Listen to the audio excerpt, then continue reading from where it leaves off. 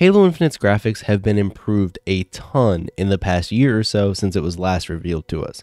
We kind of already knew some of that as we were given screenshots in the blog posts that were shared to us throughout the time between these two reveals.